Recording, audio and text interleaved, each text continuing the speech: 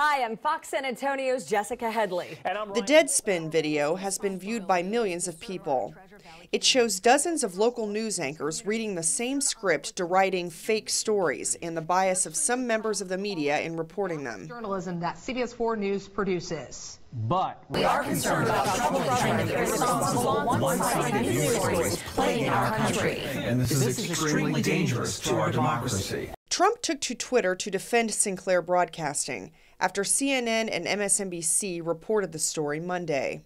Sinclair's senior vice president of news also responded, saying it is ironic that we would be attacked for messages promoting our journalistic initiative for fair and objective reporting, and for specifically asking the public to hold our newsrooms accountable. Well, the comments, what they read really doesn't mean much. They basically said, you know, we don't like fake news. You don't like fake news. Gee, let's all just don't do fake news. That's basically what the comment said.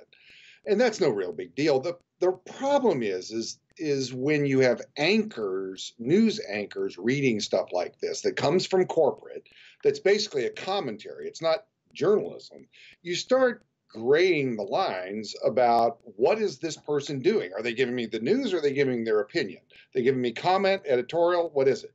To complicate matters, Sinclair Broadcasting's reach may be about to expand. It has a $3.9 billion acquisition deal pending before the Federal Communications Commission and the Justice Department. Uh, there is a uh, loophole or, or provision in the rules that would accommodate Sinclair uh, in acquiring more stations, and it's using that provision uh, to acquire uh, one of the other larger broadcasting companies in the United States, Tribune Broadcasting. As a consequence of that, Schwartzman adds, Sinclair would go from serving approximately 40% of the nation's television viewers to having television stations that reach about 70% of the country.